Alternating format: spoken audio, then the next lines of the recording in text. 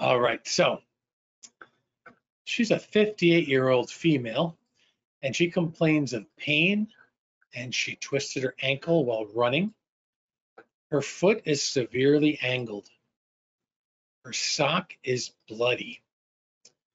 When you remove her sock, cut that sock off.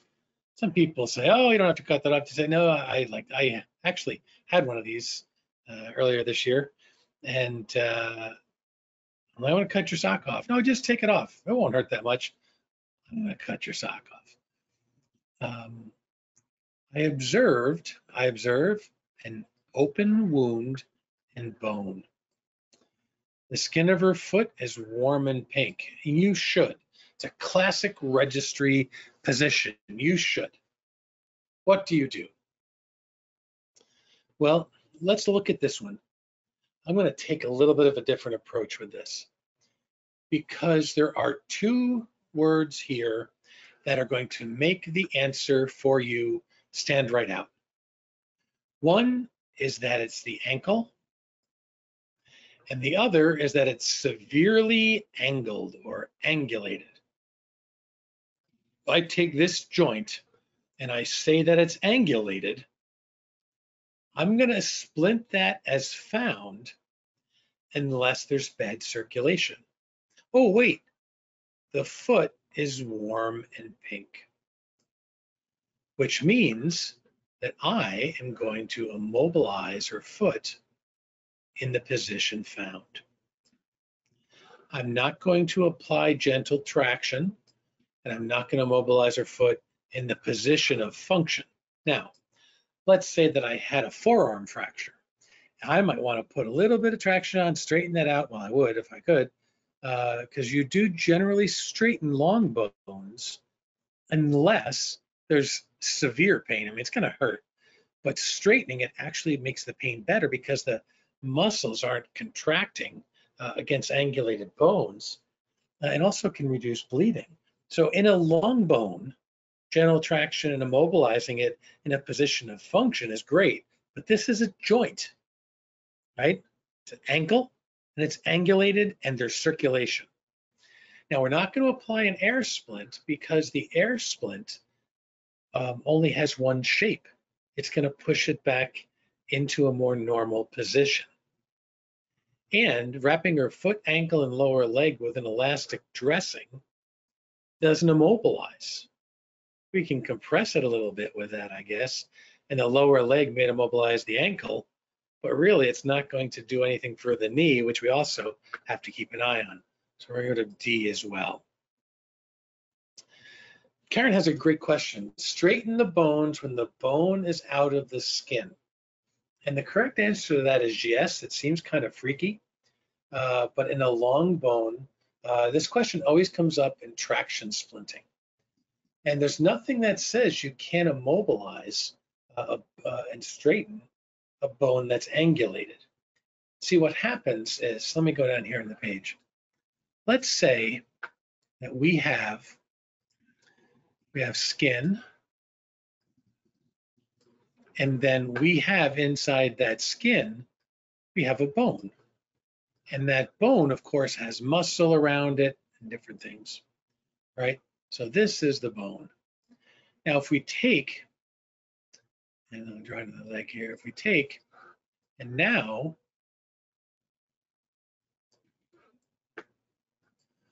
we break that bone and we angulate it,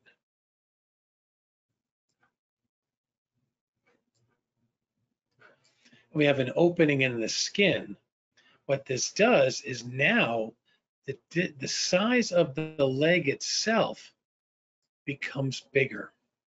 And the size of the space around that bone, the capsule gets bigger, and it allows for increased bleeding throughout the area. So if I straighten that, it eliminates that space where the bone can bleed. And the body normally, when you break a bone, trust me, when you break a bone, the muscles contract to self-splint. And when that contracts against broken bones, it makes it hurt more. Now, if you have the ability to take sterile saline and rinse any junk away or pick any stuff out before you do it, that's great. but they're going to have to go through and surgically fix that bone anyways. And they're going to have a ton of antibiotics anyways. So the answer is technically yes, that you can do that. As long as no, re you will straighten a long bone fracture, as long as no resistance is felt, and as long as the patient will, um, doesn't have severe pain. It's going to be painful, but not too painful. okay.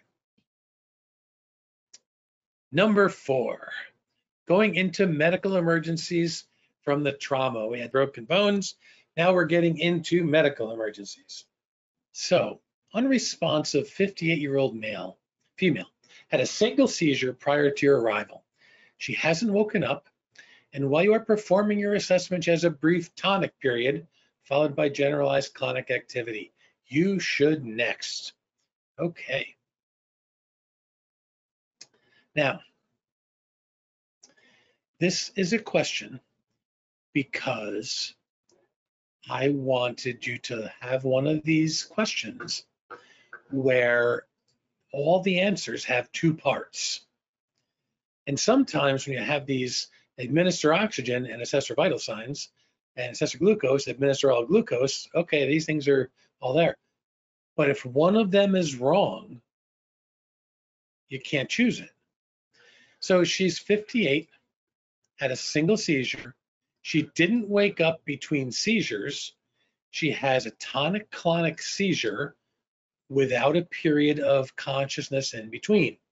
Now, the definition of status epilepticus is that a patient who has a second seizure without fully regaining consciousness between the seizures, I mean fully, or seizure that lasts for a prolonged period of time.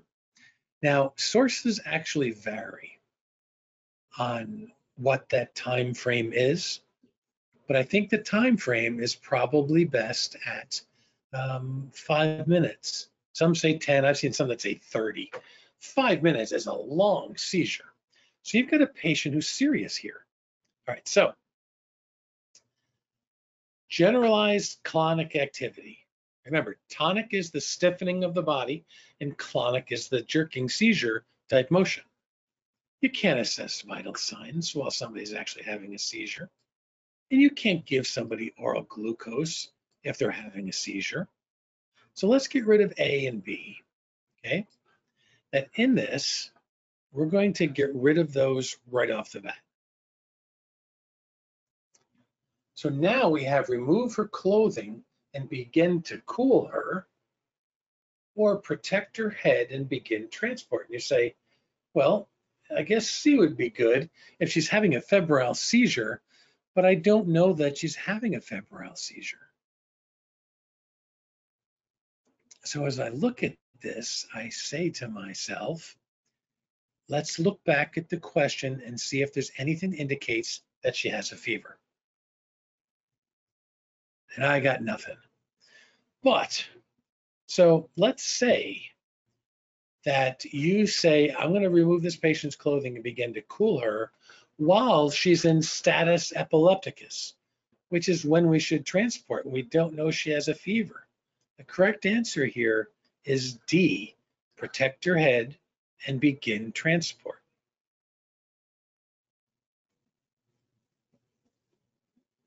So while you could, in theory, give a, a patient uh, with a seizure oxygen by nasal cannula, I'm not sure how much their chest is really bringing in or out then anyways.